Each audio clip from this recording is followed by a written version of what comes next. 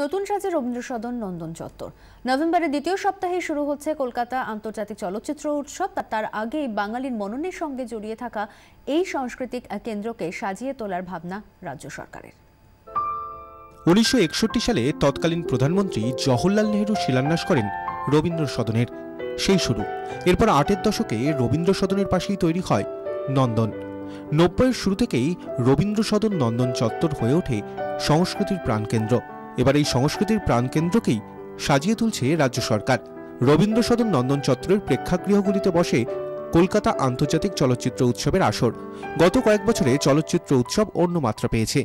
বিদেশি অতিথিদের কথা মাথায় রেখে এবার চলচ্চিত্র উৎসবের আগেই সাজিয়ে তোলা হবে এই সাংস্কৃতিক কেন্দ্র। সদন চত্বরের বন জঙ্গল পরিষ্কার করে বসানো হচ্ছে সুসজ্জিত টাইল। গাছগুলিকে দেওয়া হচ্ছে রাবীন্দ্রিক স্টাইল। তৈরি হচ্ছে আধুনিক ফুড কোর্ট তবে ফুড কোর্টে আগে যারা ব্যবসা করতেন, তারাই করবেন।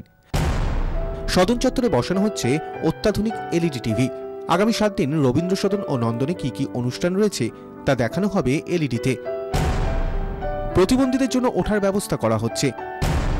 সদন চত্বরে বসার জায়গারও পরিবর্তন করা হচ্ছে। সাজানো হচ্ছে বসার জায়গা। রূপ পরিবর্তন হবে নন্দনের প্রধান গেটেরও। সবটাই অবশ্য করা হচ্ছে রবীন্দ্র সদনের ঐতিহ্যকে বজায় রেখেই।